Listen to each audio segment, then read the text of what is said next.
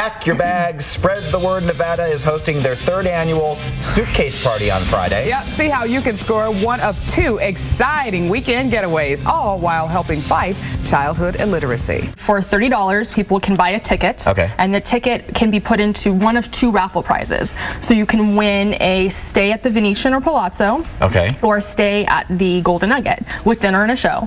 Um, so Yeah. we'll pick a winner and then, you know, someone's going to go home with a fun prize. So by packing your suitcase coming to this event, it's like packing their uh, bookshelves at home. Uh, Absolutely. we'll use the proceeds to buy more books to serve more children.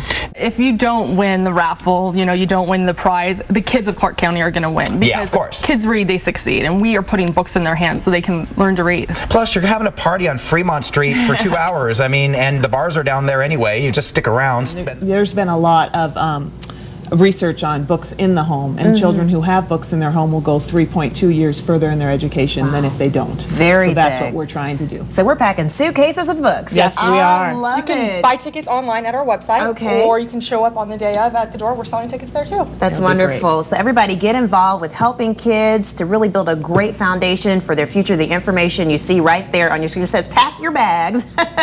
Your book for fun. It's going to be a lot of fun indeed. And we're